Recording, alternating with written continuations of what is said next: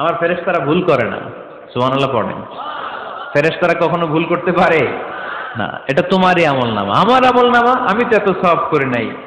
আল্লাহ বললেন, তুমি যে ওই আমার খুশির জন্য দান করেছ, ওই ছোট্ট দানটাকে আমি বড় করে তোমার আমল নামায় ঢুকাই দিচ্ছি আরও আসতে কন সুবহান আল্লাহ হাদিসে এসেছে, কামা ইউরাব্বি আহাদুকুম ফুলুয়া। তোমরা যেমনি ছাগল পালো বাছুর পালো আল্লাহ তাআলা তোমাদের দানটাকে এরকম পেলে পুষে বড় করে। আপনারা কিশোরগঞ্জে গরু পালন কারা দেখি? বাড়ি বাড়ি। আপনার বাড়িতেও আছে? তো এই যে গাভী যখন বাচ্চা দেয়, বাছুর হয়, খুশি লাগে না আপনাদের? মালিক কি করে? এটারে খাওয়ায়, খাইয়ে, দাইয়ে, পেলে, পুষে বড় করে না? কুরবানির হাটে বিক্রির জন্য? আল্লাহ বললে, তুমি যে ওই ছোট্ট দান করেছ, তোমার এই ছোট্ট দানটা আমিও এটারে খাইয়ে দাইয়ে পেলে পুষে বড় করে উহুদ পাহাড়ের সমান করে তোমার আমল নামায় ঢুকিয়ে দিয়েছি।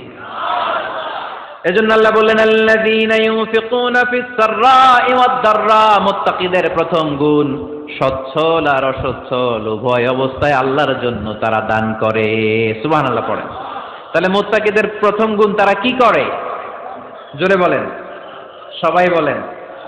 আবার বলেন। আপনাদের কষ্ট হচ্ছে? দোয়া করে ফেলি আমরা। তো গলার আওয়াজ এত অল্প কেন? আওয়াজ করে উত্তর দেওয়া যাবে? চিল্লায় পড়েন, আল্লাহ আকবার। এভাবে উত্তর দিবেন। এভাবে আওয়াজ করে উত্তর দিলে আমি বুঝব, আমার কথা শুনতেছেন, বুঝতেছেন। তা না হলে আমি বুঝব, বুঝতেছেন না। আমি এত কষ্ট করে বলি, এরা বুঝে না। তো মুত্তাকিদের প্রথম গুণ তারা কি করে? আরও জোরে বলেন, কি করে? মুত্তাকিদের দুই নাম্বার গুণ আল্লাহ বললেন আল কাযিমিন আল গাইজ মুত্তাকিরা শুধু সুখে দুঃখে সচ্ছল অসচ্ছল অবস্থায় তারা দান করে না। মোত্তাকি বান্দার দুই নাম্বারে বৈশিষ্ট্য, তারা রাগকে হজম করে, ক্রোধকে নিয়ন্ত্রণ করে। সুবহান আল্লাহ মোত্তাকিনরা অল্পতে চটে যায় না হট টেম্পার্ড না। আমাদের অনেকে আছে হট টেম্পার্ড কিছু বুঝলেও চেতে, না বুঝলেও চেতে। এরকম চেত আছে নাকি আপনাদের? রাগ রে, আপনারা কি বলেন আঞ্চলিক ভাষায়? রাগই বলেন। তো এই যে রাগী মানুষ আছে না? গুসা উঠছে। এই যে গুসা যে ওঠে, এটা খুবই স্বাভাবিক গুসাটা ওঠা। সবার ওঠে এটা। কি বলেন? ওঠে না ওঠে না? আপনাদের মধ্যে থেকে গুসা বেশি ওঠে কার? দেখি। আছে তো, রোগী আছে তো অনেক। আল্লাহ আপনাদের গুসাগুলোরে ঠান্ডা করে দেখ আর ভালো গুসাগুলো যেন আপনারা ইসলামের পক্ষে করতে পারেন, আল্লাহ তৌফিক দান করো। রাগ হবে ইসলামের জন্য। আল্লাহর জমিনে আল্লাহর বিধান লঙ্ঘন হলে আমরা রেগে যাব, চিল্লায় বলেন, ঠিক কিনা? এছাড়া কেউ আমাদেরকে রাগাতে পারবে না। বল কাজিমিন আল গাইদ মোত্তাকিন বান্দারা রাগকে হজম করে। রাগ হওয়াটা খুব স্বাভাবিক। এটা ন্যাচারাল এটা কি? প্রাকৃতিক। আমাদের দেহে এক ধরনের হরমোন আছে, এটার নাম হচ্ছে অ্যাড্রেনালিন বলে এটাকে, অ্যাড্রেনালিন হরমোন। তো এই হরমোনটা যখন নিঃসরিত হয়, তখন আমরা রেগে উঠি। এর আগে আমরা রাগি না। This adrenaline hormone triggers up your body's fight response এটা নিঃসরিত হলেই বডি তখন ফাইট করতে মন চায়। মনে চায় খায়া ফেলাই, মাইরা ফেলাই, দইরা ফেলাই, অফ করে হোতা এলাই আপনারা বলেন না এগুলো? মাইর অ্যালবাম? কাইট অ্যালবাম, অফ করে হোতা অ্যালবাম।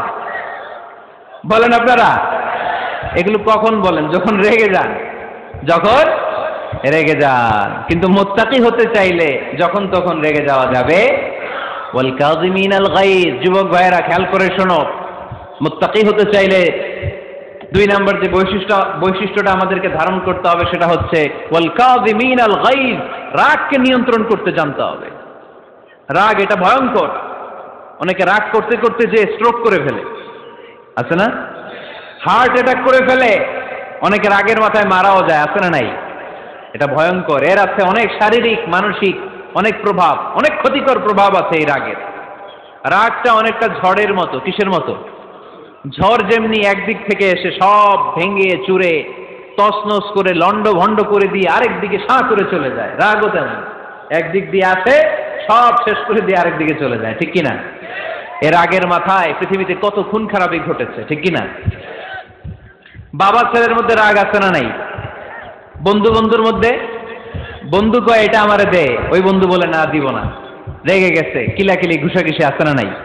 বাবা ছেলের মধ্যে জমি জমা নিয়ে হয় না অনেক সময়?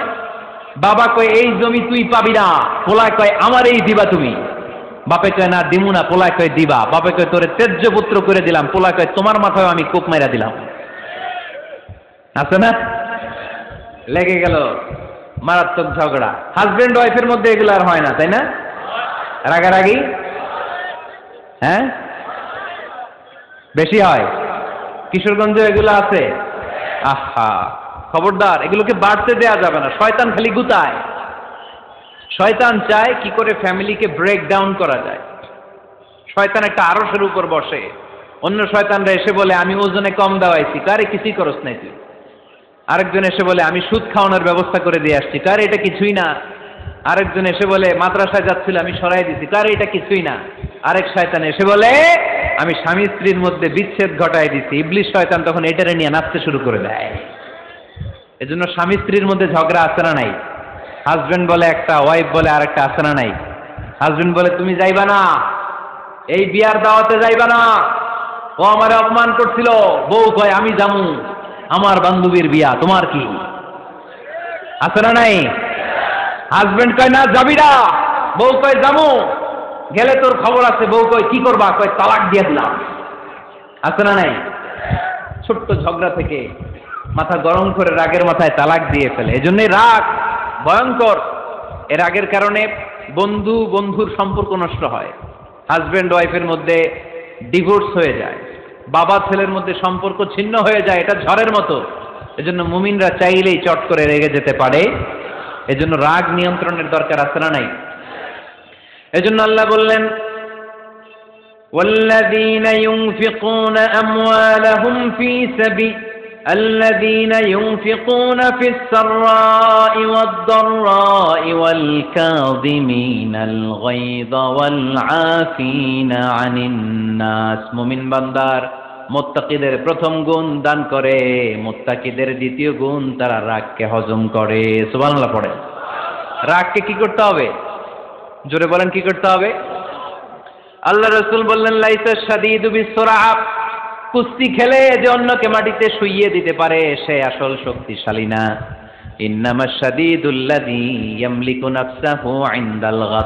রাগের মাথায় যখন নিজেকে যে নিয়ন্ত্রণ করতে পারে, আল্লাহর কাছে ওই ব্যক্তিটাই শক্তিশালী।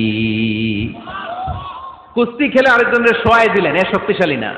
বরং শক্তিশালী তো সে, যে রাগের সময় নিজের উপর নিয়ন্ত্রণ রাখে।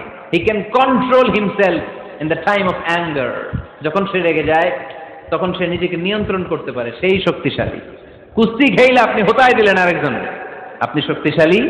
না। এজন্য রাগকে নিয়ন্ত্রণ করতে রাজি আছেন তো? এক সাহাবে এসে বললে, ইয়া রাসূলুল্লাহ, আউসিনি, ইয়া রাসূলুল্লাহ, ও নবী, আমারে নসিহত করেন, আমারে কিছু উপদেশ দেন। বিষ্ণুই বললেন, লা তাগদাব, তুমি রেগে যেও না।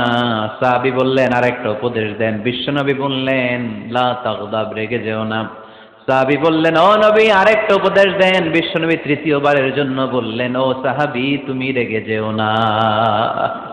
লা রেগে যেও না, কারণ রেগে গেলেন তো হেরে গেলেন। রেগে গেলেন? হেরে গেলেন।